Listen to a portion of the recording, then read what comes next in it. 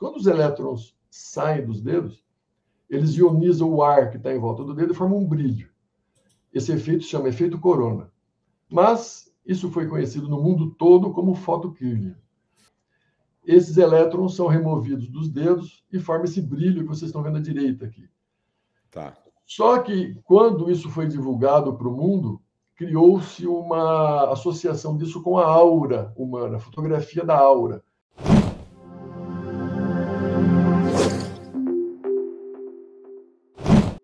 A ideia básica dessa tecnologia é exatamente trazer isso para nós. A função. Quanto de saúde nós temos? Se você dormir mal essa noite, tudo bem, você vai sentir que, você, que alguma coisa está errada no seu corpo, mas o que te afetou mais? Em que órgão? Em que sistema? Onde houve esse impacto? Então, essa tecnologia, é, que nós vamos falar sobre ela hoje, basicamente nos traz uma, uma questão funcional. Como está o meu organismo em relação ao meio ambiente, aos meus pensamentos, ao meu estilo de vida, e como essas informações vão ser importantes para que eu possa mudar meu estilo de vida e ter mais saúde, é, evitar doenças. Né? Então, essa que é a, a, a, a, chave maior. E como é que você descobriu, como é que você teve esse primeiro contato com essa tecnologia? Eu queria que você explorasse um pouco esse assunto aí para a gente. Então, essa tecnologia é, nada mais é do que uma releitura, um avanço da foto Kirlian. A, a foto Kirlian é, por incrível que pareça, a primeira vez em que uma pessoa fez o registro desse fenômeno, que é o efeito corona.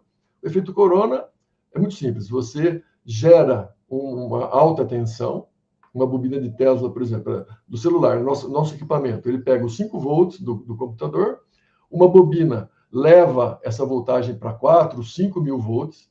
Essa alta tensão, ela passa por trás de um vidro, tem um vidro, ela passa por trás, criando um campo magnético. Quando você toca nesse vidro com o dedo, elétrons saem dos dedos, exatamente quando você vai colocar a chave no carro e toma aquele choque.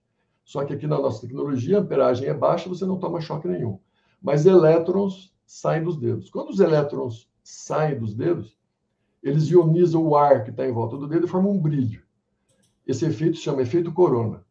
Mas isso foi conhecido no mundo todo como fotokirlian. Só que a foto Kirlian, ela. Qual, qual que é o slide, Neto? O slide legal para nós mostrarmos isso daí é o uh, anterior a esse, três anteriores a esse, mais um. Isso.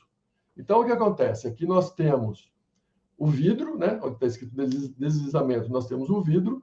Quando a pessoa toca nesse vidro, essa geradora, que é, ele, essa bobina, cria essa alta tensão, esses elétrons são removidos dos dedos e forma esse brilho que vocês estão vendo à direita aqui. Tá. Só que quando isso foi divulgado para o mundo, criou-se uma associação disso com a aura humana, a fotografia da aura. Então, os físicos, os cientistas falaram, putz, os caras estão viajando, viajando. isso aí é, é tá, estão criando, né? E, e, e houve uma, uma, uma, separação. Só tá. que, na verdade, é, é, esse brilho que nós vemos aí, como eu falei, é a ionização do ar. Então, a luz, na verdade, ela, ela vem do ar que está em volta do dedo, ela não, sai, não é do nosso corpo. Então, na verdade, ela não é a aura, não é uma fotografia da aura. Mas, nós vamos pensar assim: se vocês olharem o brilho, vejam que não é um brilho regular, é um brilho irregular. Por que, que o meu corpo emite esses elétrons de forma irregular? Por conta da estrutura dos vasos sanguíneos, dos, do, do, do, tecido conectivo, dos ossos, tudo que está presente no dedo. Como nós temos microsistemas né, na medicina chinesa, é, todo mundo já foi lá fazer massagem nos pés, ou então colocar agulhinha na orelha. Por que na orelha? Porque a orelha é representação do corpo. É como se fosse um feto de ponta cabeça. A cabeça está aqui, a coluna está aqui, os órgãos internos estão aqui. Então, como o nosso sistema conectivo ele é fractal, o colágeno ele tem uma estrutura cristalina e tudo se replica dentro do corpo de forma holofractal. A nossa cabeça é um espelho do corpo, a mão é um espelho do corpo, o dedo é um espelho do corpo, a ponta do dedo é um espelho do corpo. Então, quando nós fazemos a bioletografia, esse exame da, das pontas dos dedos, nós temos uma representação de todos os nossos órgãos e todos os nossos sistemas. Então, se meu fígado não estiver bem, o dedo da mão e a região do fígado é, é, é, conectada ao fígado, também não vai estar bem. Então, esse fluxo de elétrons vai estar perturbado, em excesso, em deficiência ou é, desorganizado. E aí o programa ele capta esse brilho através de matemática não linear, fractalidade, programa de computador. Os cálculos são feitos e, e esses resultados são apresentados de forma é, é, amigável, é, de fácil entendimento.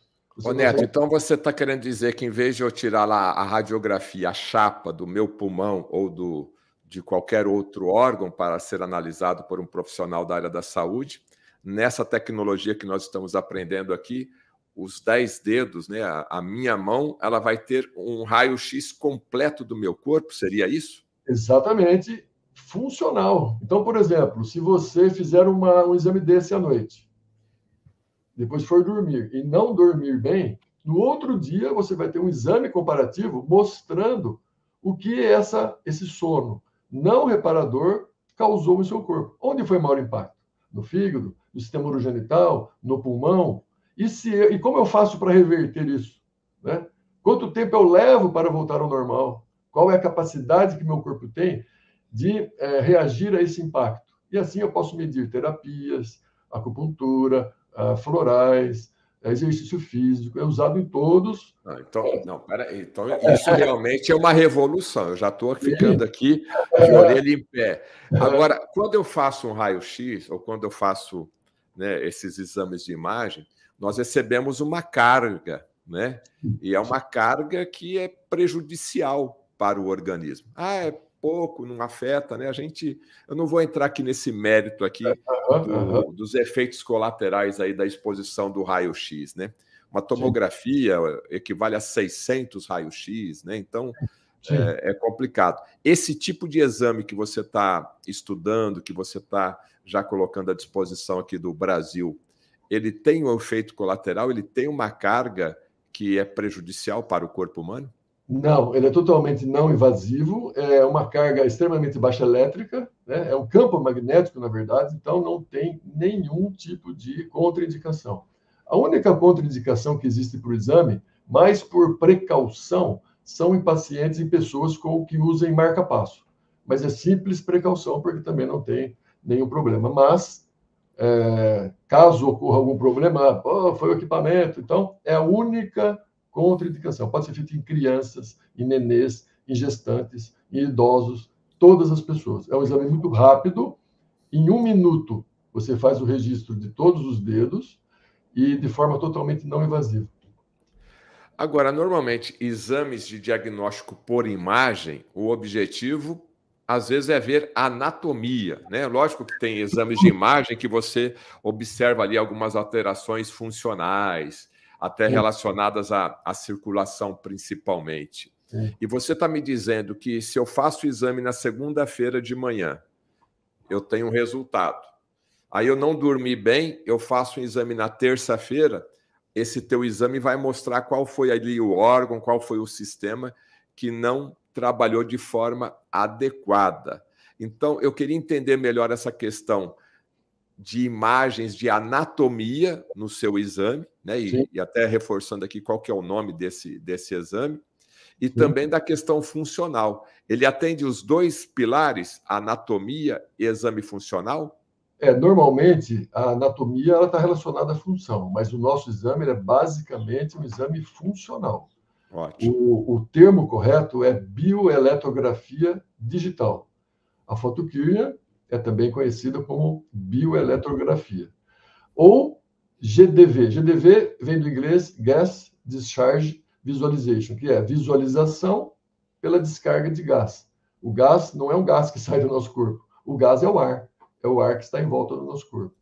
Nós emitimos fótons, normalmente. Só que para você ter um equipamento que visualizasse os fótons emitidos do nosso corpo, você teria que estar numa condição de laboratório muito específica, os aparelhos extremamente caros. Então, ele nada mais é do que um amplificador de fótons, para nós analisarmos a estrutura, nossa estrutura biológica, como está a nossa matriz, como está o nosso tecido.